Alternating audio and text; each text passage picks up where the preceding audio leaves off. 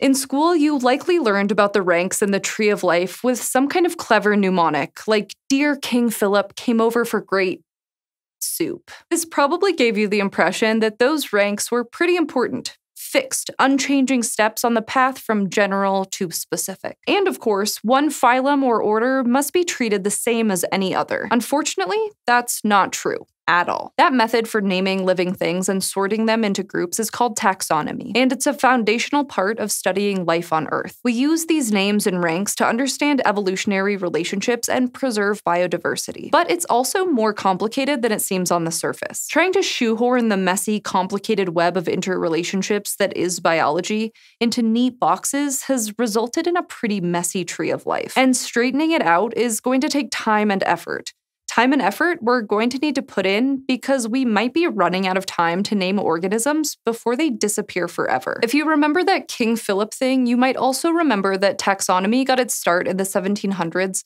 due to the work of a Swedish botanist named Linnaeus. He came up with a scheme to name and categorize life on Earth with ranked categories and binomial two part names like Homo sapiens or Felis catus. That system, now updated to reflect our understanding of evolution, forms the basis of what's called rank based taxonomy. It runs from the very high level domain down through kingdom, phylum, class, order, family, genus, and species with each describing more narrowly defined groups of related organisms. The names and naming process are regulated by international codes, like the ICZN or International Code of Zoological Nomenclature. And these groups are generally organized by describing characteristics shared within the group, which can be anything from having a cell wall to laying eggs with shells. In general, this works fairly well, but there are some weird quirks to doing things this way. Part of the problem arises from using a system and groups invented before Darwin and trying to paste in evolutionary relationships over top of them. One of the ways scientists have updated the tree of life to reflect evolution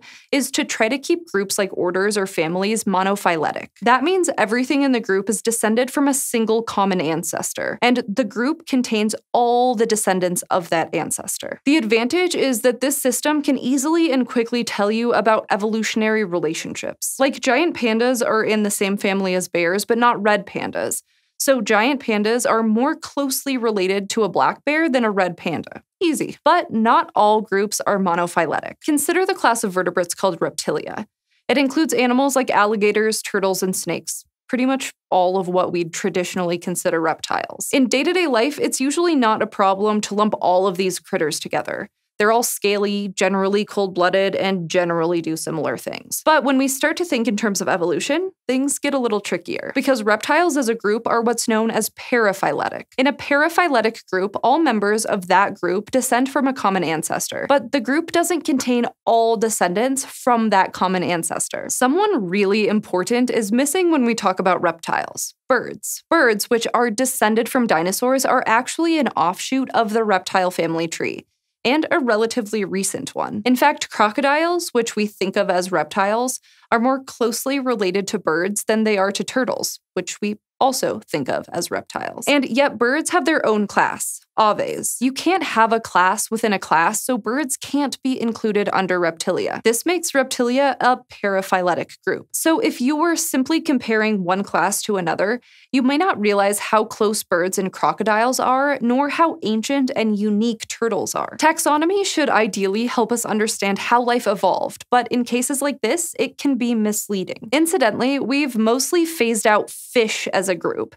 since in order for it to be monophyletic, we'd have to include humans because we're also descended from the same ancestor. Over time, we've focused more and more on these systematic relationships, and we've retired some old groups when they stop making sense. But it's an ongoing process, and we still have wonky groups like reptilia. There are also some weird problems with the idea of the ranks themselves. At the most basic level, there are tricky problems with how we define species. But there are also questions about how some of those higher order groups are organized as well like orders or phyla. That's because there isn't an objective test for whether something should count as a class or phylum. It's not like 99% DNA match is a genus, 95% is a family, 90 is a class, etc. This can create situations where groups of the same rank aren't comparable to one another they're not equivalent. Take Cnidaria, a group that includes critters like jellyfish and coral. Cnidaria is a phylum, a high level rank just below kingdom. As vertebrates, our phylum is Chordata, and since they're both phyla, you might be tempted to think of them as roughly equal. Like maybe the groups are roughly as old as each other or contain about the same amount of genetic diversity or the same number of species. But depending on how you look at it, Cnidaria is actually a much bigger group. In fact, the genetic difference between true jellyfish and box jellyfish is about the same as between a human and a sea urchin, a group that belongs to another phylum altogether. So, again, for a system that's supposed to help us understand the world, it's got some serious flaws. Now, don't get me wrong, taxonomy is really useful. Life is a continuum, and classification is a tool that we use to understand it. Without it, we'd struggle to describe the organisms around us or understand evolutionary relationships. But we've also seen some of the quirks of our current system and those quirks can have consequences. For one, we need the insights taxonomy gives us to be able to protect the natural world. For countries or governments to make policy decisions about animal and plant species, they need to know what species are out there. Like if a national park is trying to understand the diversity of animals in their borders, it's important to know whether two populations of fish are related. Or if crops are being attacked by a new invasive species of insect, Knowing exactly what species it is can help farmers, scientists, and policymakers protect the food supply. So, if our systems and ranks aren't clear, it can become harder to understand these kinds of problems. And of course, taxonomy can really affect researchers too. For example, a paper published in 2016 in the journal Current Biology claimed that it's not uncommon for researchers to treat these ranks as actual biological patterns rather than human made aids. They're there as a tool to aid our understanding, not as an absolute rule. Yet, as long as they exist, the paper suggests people will be tempted to focus on them. To fix things, some researchers have proposed standardizing taxonomic ranks, like by using when different groups diverged in Earth's history as a yardstick for assigning ranks. But it's worth noting that reorganizing things can sometimes be cumbersome due to the way those rank names work. While many of the classic groups like Reptilia or Mammalia have names that wouldn't change,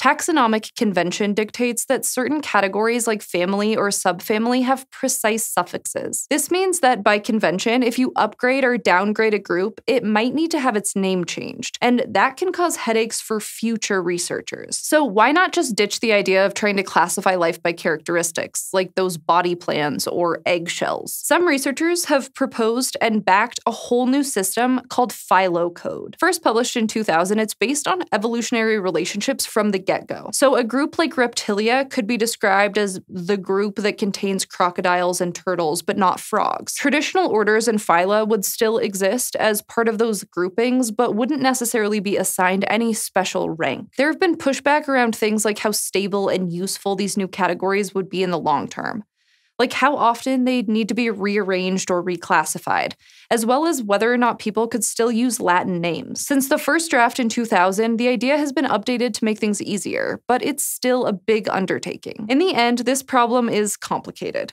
because we've had the old system for literally centuries. So revamping it would, well, take a bit of work.